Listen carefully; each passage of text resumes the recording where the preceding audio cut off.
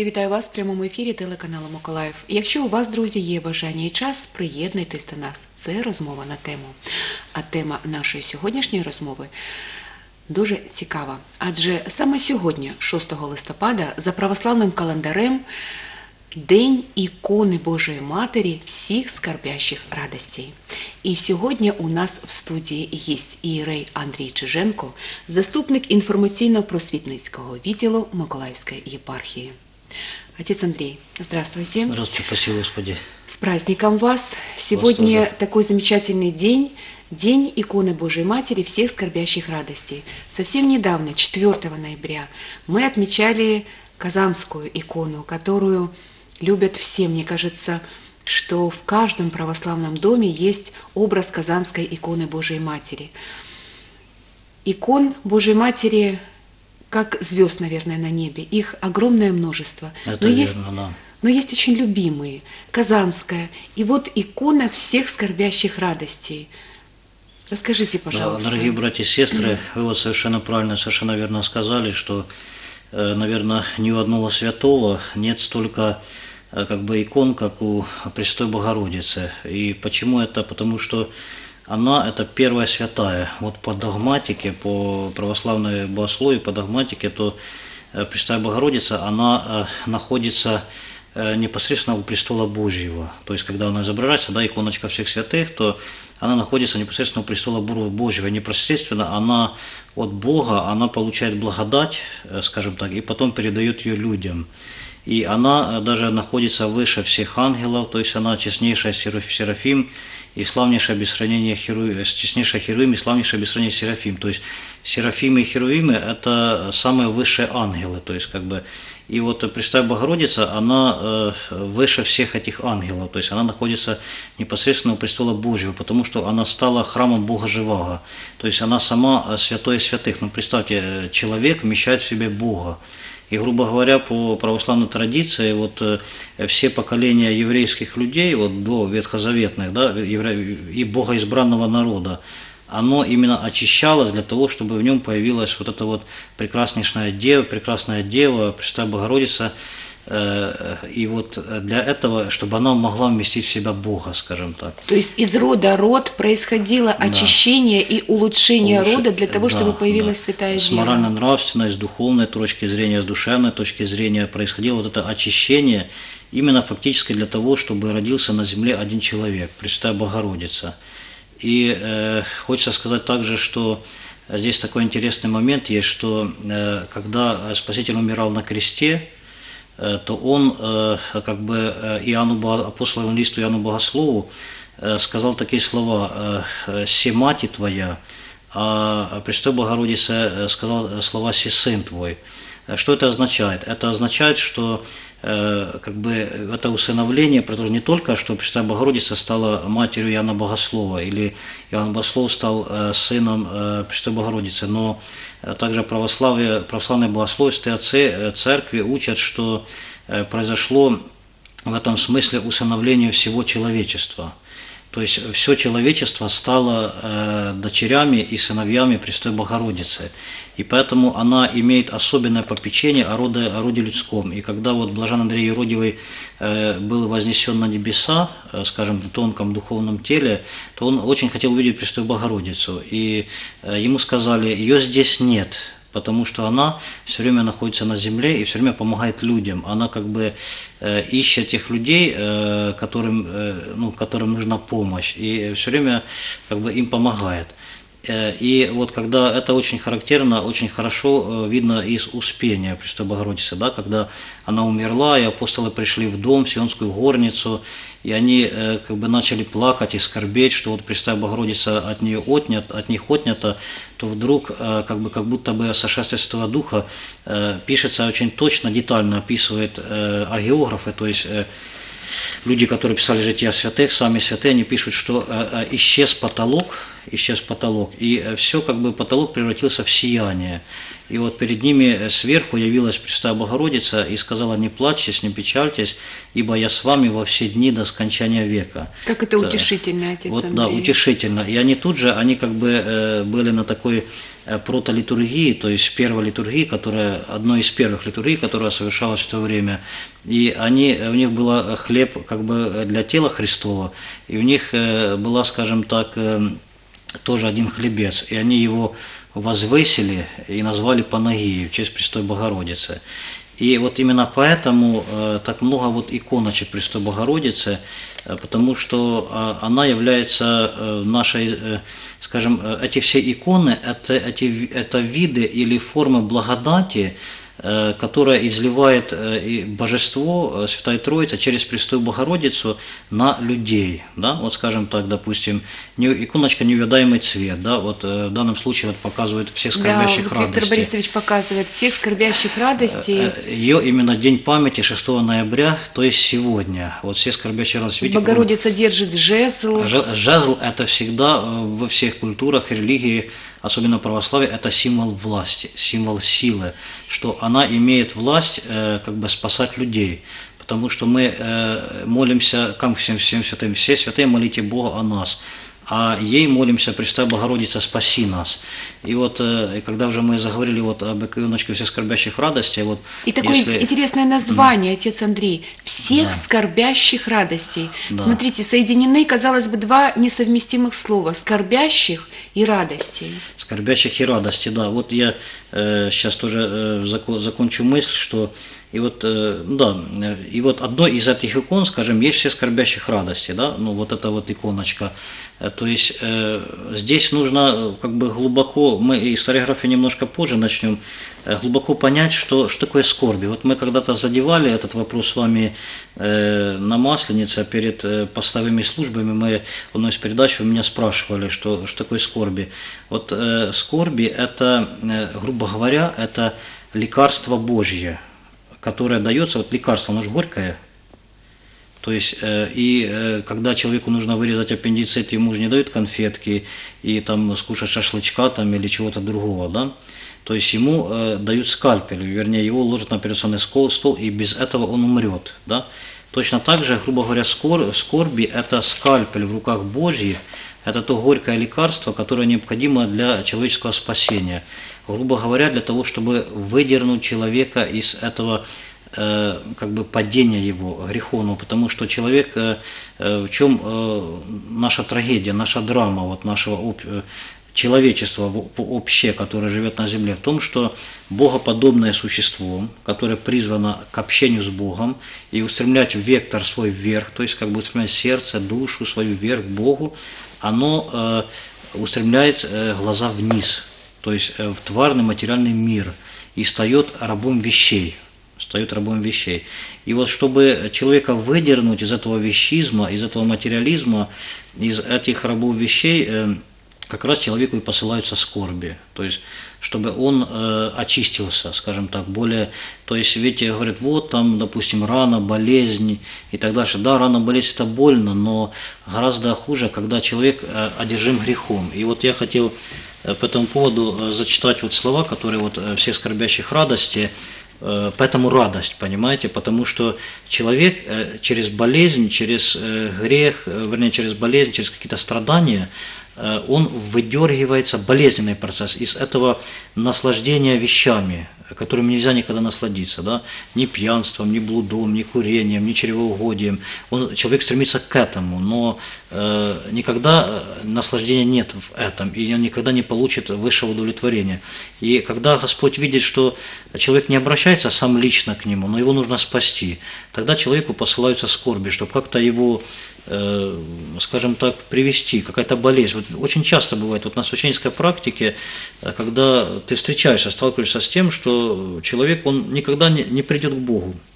Если бы он будет пить, будет гулять, будет э, наслаждаться жизнью, будет добиваться денег, азарта, славы власти, скажем так, но э, когда вдруг у него появится болезнь... Ну да, по он, башке трись какой-нибудь болячкой, Пока да? огромные удары, угу. мужик не перекрестится, да? Ну, то, вот, вот почему скорби. Гром и перекрестился, понимаете, почему они посылаются. Вот был такой очень интересный священномученик, архиепископ э, Фадей Успенских, он, э, у него было есть слово в день иконы Божьей Матери «Все скорбящих радости».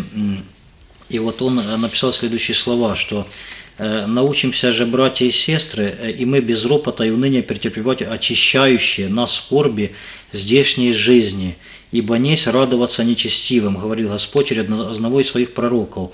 Сама вера наша через терпение скорбей сделается более дерзновенной, более твердою, и молитва более дерзновенную, когда мы не будем видеть в скорбях что-либо случайное – но всегда будем прозревать в них научающую нас благодетельную десницу Божью. То есть мы должны понять, что скорби, э, люди, которые посылаются, скорби, которые события, посылаются человеку, события, которые происходят с нами, это все не случайно. Это как бы человек э, находится, э, как будто бы, знаете, эмбрион в утробе матери. И Господь формирует постепенно его душу вот этими вот событиями, да, скажем так, формирует ее. И готовит к чему-то, да? Готовит к встрече с ним, конечно же, да. И тут, конечно, вопрос э, свободы воли, вопрос человека, примет он это или нет.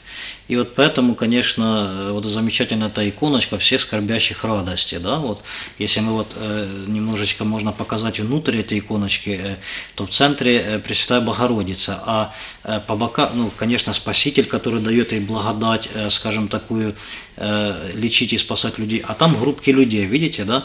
Там Да. одна группа это болящие, другая группа это нищие, третья группа это другие какие-то скорбящие.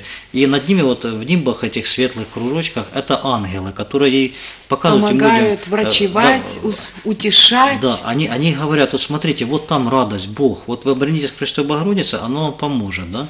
И поэтому э, э, эта иконочка именно называется «Все скорбящих радости», потому что Да, и можно еще сказать, что если что скорбь, но за скорбью не может скорбь быть до отчаяния. За скорбью обязательно следует радость, если человек Конечно. обратится к Богу. Конечно, знаете, вот э, я вам скажу, тут э, э, надо иметь человек, чтобы имел такой элемент, он понимал, что э, для человека мирского, грубо говоря, мирского, особенно язычника или малоправославного человека, э, ну, жизнь это конец, да? Ну, там что-то там, какое-то серое молочко непонятное. Одни верят, что Бог есть, другие говорят, что Бога нет, третьи говорят, что там что-то непонятное, мы не знаем, космический разум и так дальше, так дальше. Но э, православие – это радость действительно о Бозе. Почему? Потому что мы твердо знаем, что смерть – это только переход. Ну, и что настоящее наше Отечество – это Царствие Небесное, которое там за гробовой доской. И смерть фактически – это э, не просто уход из жизни тяжелый, мучительный, страшный, да, отчаянный, а это венец твоей жизни. С чем ты пришел на этот суд? То есть ты стал вот этим драгоценным яблоком, плодом Божьим, или ты стал каким-то мерзким существом. Ведь спадет все, уйдет родственник, уйдет близкие, уйдут друзья, уйдут семья, останешься как бы ты и Бог. Вот. И насколько ты будешь готов к встрече с Ним. И, конечно, праведник и человек, который очищает, живет жизнью православного христианина, он э, старается себя э, как бы э, очистить, чтобы можно было войти в Царствие Небесное. Ну, Поэтому святые отцы очень точно говорят, что здесь э, православная, вернее, жизнь человека любого – это училище для души. А человек – гражданин Царствия Небесного, то есть он входит в Царствие Небесное для того, чтобы стать там вечно жить и радоваться, потому что такие замечательные утешительные слова есть Спасителя, что э, не прозревало око и не слышало то ухо, что уготовил Господь любящим его. И вот человек, который живет с этой позиции, с этой точки зрения, конечно, он э, соответствующим образом выстраивает свою жизнь. Ну, и вот Пресвятая Богородица, она э, его ведет э, по пути спасения, по пути совершенствования. Да? А человек, который не живет, он это, этим точкой зрения, он глубоко несчастлив. Он может быть счастливым, может танцевать, может петь, может радоваться, но тот схимник в монастыре, он будет в тысячу раз счастливее э, и в затворе, который просидел 20 лет человек, будет гораздо счастливее, чем он, потому что э, он будет чувствовать эту радость общения с Богом и того, что там э, это, не потолок, смерть это не потолок, там открытые двери и дальше огромный бесконечный мир, понимаете, в чем дело? Вот я недавно, довольно давно, вернее, общался с одним дедушкой в Николаеве, знаете, таким хорошим николаевским таким дедушкой, вот интеллигентным очень, ему было лет 80, э, может быть даже больше, он говорит, вот сынок говорит, не пойму, что произошло, вроде был в армии, говорит, ну, закончил институт, женился, семья была, вот я работал, а с чем я пришел к концу жизни? Ну, то есть как будто сон все прошло. И вот тот человек, который, вот он уже такого предпенсионного возраста, он, конечно, ну не предпенсионного, а глубоко как бы пожилого Глубоко за во- пенсионного. пенсионного возраста, он э, перед ним обнажается это лицо перехода в тот мир, и с чем он придет, знаете. И в то же время вот мне тоже нравится из одного фильма, э, значит, там мужчина бросил пить, и он как бы начинает задумываться, так, я был в армии, а зачем?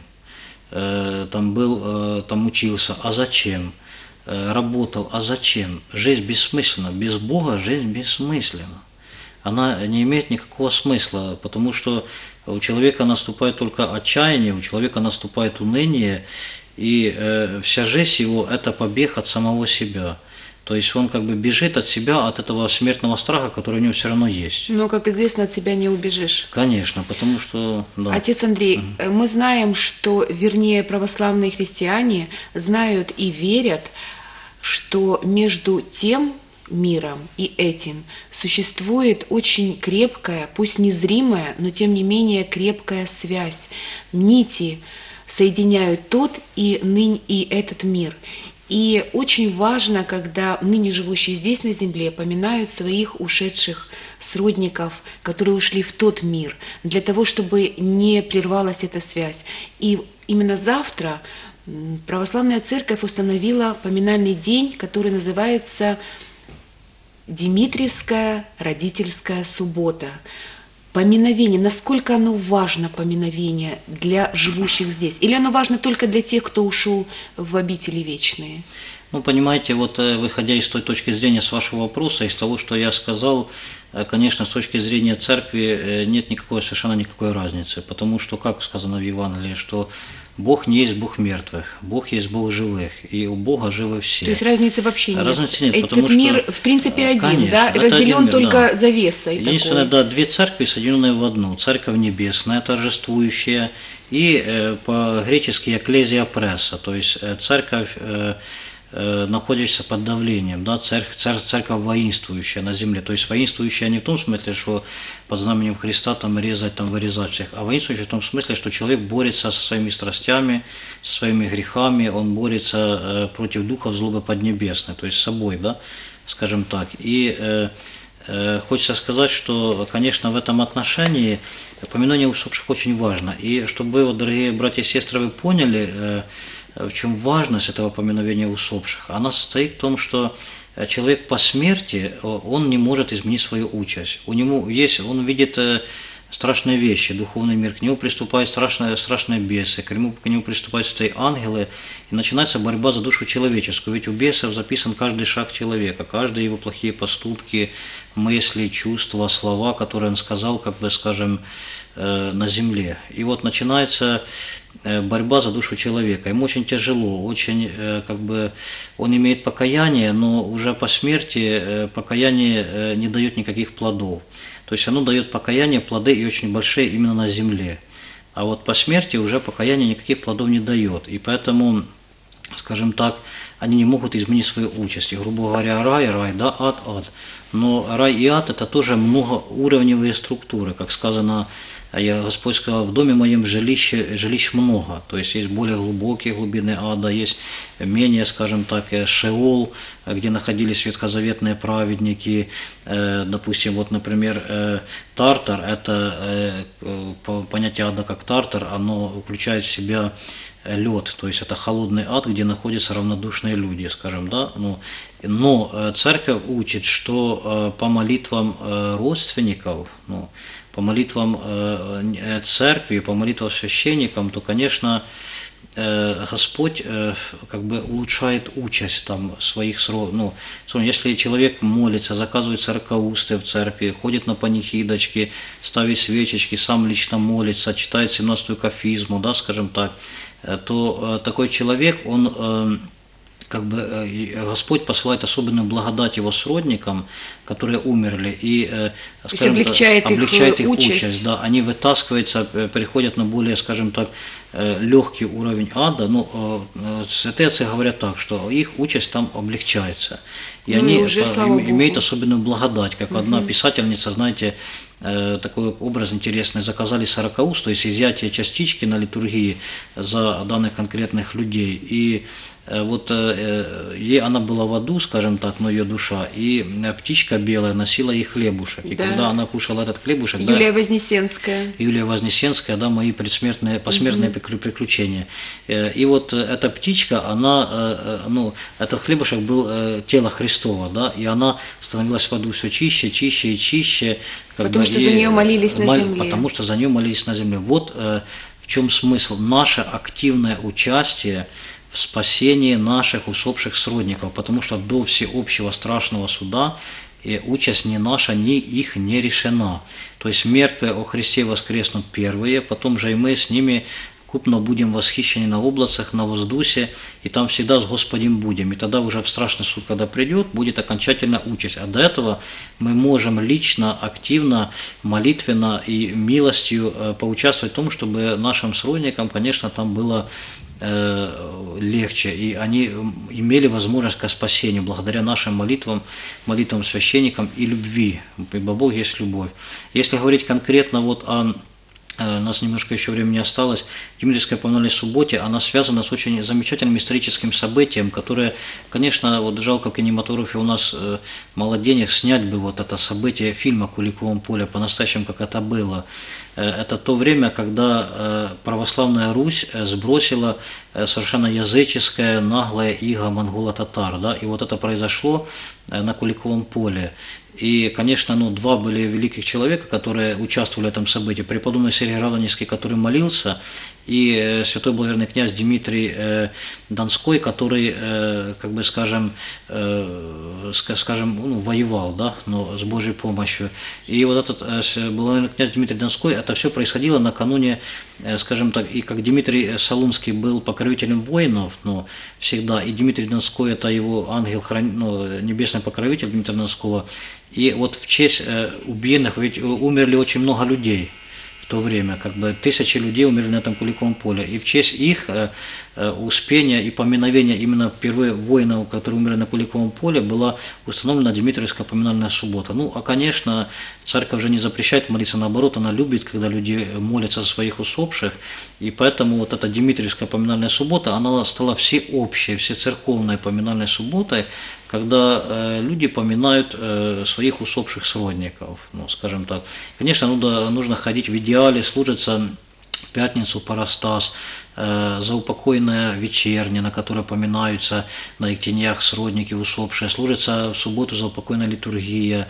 Если нет возможности э, там послу, ну, послужить, то служится панихидочка обязательно в храмах, э, как бы скажем, за упокой. Конечно, нужно идти и, и нужно молиться за своих усопших сродников, потому что им там будет гораздо лучше. И чтобы нам было, за нас было кому помолиться обязательно. Ну да, и им будет лучше, и нам спокойнее, потому что молитва, как известно, она очищает душу. И независимо от того, молишь ли, молишься ли ты за усопших сродников, или ты молишься, но главное, что молитва – это ведь разговор с Богом. Да, молитва – это разговор с Богом, и молитва – это самое главное дело, которое только есть. То есть все должно начинаться с молитвы. Как пасхальное э, Евангелие, Евангелие от Иоанна, глава 1, стих 1. В начале было Слово, и Слово было у Бога, и Слово был Бог. То есть Бог – податель всех благ, духовных и материальных. Когда мы молимся, мы призываем э, себе на главу э, и к себе эти материальные и духовные блага, то есть и мы их получаем. Если мы не молимся, то как бы, скажем так, нам стыдно, когда э, нашим родителям же обидно, когда э, к ним мы не приходим, не обращаемся, забываем о них, понимаете? Точно так же человек сам в себе, ведь э, Господь это Отец наш, Отче наш, и же есть на небесех, то есть мы перекрываем сами в себе благодать эту Божию, поэтому Конечно, нужно молиться, чтобы для нее открылись как бы канальчики, и чтобы человек э, стал э, храмом Бога живого, подобно тому, как была им Пресвятая Богородица. Пусть она всех э, нас и хранит с Божьей помощью, дорогие братья и сестры. Отец Андрей, большое спасибо. Время нашего эфира незаметно подошло к концу. И я надеюсь, что те слова, которые вы говорили сейчас, они запали в сердца наших телезрителей. Дорогие друзья, сегодня у нас в гостях в студии был Иерей Андрій Чиженко, заступник голови інформаційно-просвітницького відділу Миколаївської єпархії. И, конечно, нужно помнить о том, что самое главное – это любовь и радость. И сегодня день иконы Божьей Матери всех скорбящих радостей – радость, она всегда в сердце, особенно если человек верит и молится.